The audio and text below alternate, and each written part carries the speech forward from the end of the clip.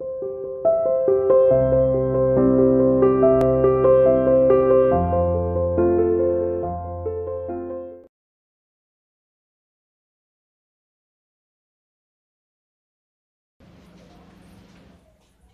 students, welcome to CR International School online classes.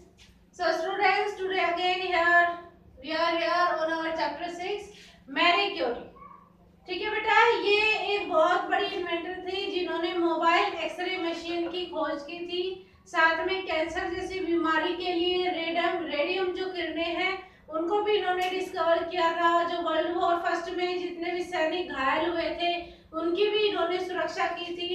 इस तरीके से ये बहुत ही महान हस्ती रही है अब हम बात करते हैं इस चैप्टर के क्वेश्चन आंसर्स की so the first question chapter is when and where was Marie Curie born कहाँ जन्म हुआ था मैरी क्यूरी का? और कब हुआ था? Marie Curie was born on 7 November 1867 कब जन्म हुआ था? 7 नवंबर सन अठारह को एंड वेयर और कहा इन वॉर्सो पोलैंड कहाँ हुआ था वॉर्सो पोलैंड उन्होंने अपनी पढ़ाई कहाँ पर पूरी की थी पेरिस में ठीक है बेटा कंफ्यूज नहीं होना है उनका जन्म पोलैंड में हुआ था बट उन्होंने अपनी जो स्टडीज़ थी जो कॉलेज टाइम की जो पढ़ाई थी, वो कहाँ पूरी की थी? पेरिस में। Second question what subject did Marie study in Paris Paris में कौन कौन से सब्जेक्ट पढ़े थे मैरी क्यूरी ने? Marie Curie studied physics chemistry and mathematics उन्होंने भौतिक और रसायन विज्ञान और गणित की पढ़ाई की थी। स्टार्टिंग में तो उन्होंने फिजिक्स से ही पढ़ाई की थी, तीन साल तक वो लगातार फिजिक्स में पढ़ाई करती रही फिर उसके बाद उन्होंने अपनी आगे की पढ़ाई केमिस्ट्री और मैथमेटिक्स से कंप्लीट की थी question number third with whom did Marie Curie share the Nobel prize for physics physics में जब उन्हें पहली बार नोबेल प्राइज मिला था तो किसके साथ मिला था उन्हें? Marie Curie share the Nobel prize with her husband किनके साथ, यानी किनके सहयोग से?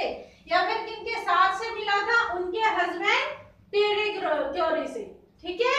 उनके हस्बैंड के साथ की वजह से उन दोनों को फिजिक्स में नोबेल पुरस्कार मिला था। ओके बेटा, ये नोबेल पुरस्कार सन 1903 में मिला था। और सेकेंड नोबेल पुरस्कार मेरी क्यूरी को अकेले केमिस्ट्री में सन 1911 में मिला था ओके बेटा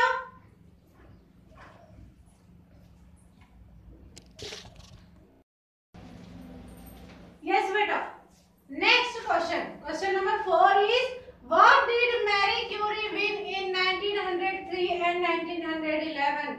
अभी अभी बेटा मैंने आपको थर्ड क्वेश्चन में बताया था कि सन 1903 और 1911 में उन्होंने नोबल प्राइज जीता था, ठीक है?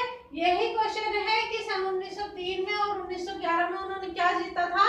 Nobel prize fifth question how did Marie Curie help the soldiers during world war first जब प्रथम विश्व युद्ध हुआ सन 1914 में तो मैरी क्यूरी ने किस प्रकार मदद की थी सैनिकों की कि उन्होंने एक एक्सरे मशीन का निर्माण कर लिया था। ठीक है, कैसे मदद की थी? उनके द्वारा निर्मित एक्सरे मशीन के द्वारा उन घायल सैनिकों का इलाज किया गया। ओके बेटा? देखो स्टूडेंट्स आपके जो क्वेश्चन आंसर है, वो इस तरीके से हैं।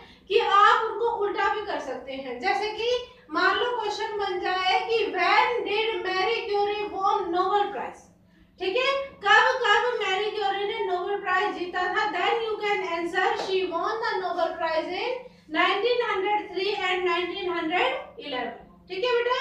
इस तरीके से आपके क्वेश्चन उल्टे सीधे भी बन सकते हैं। सो so,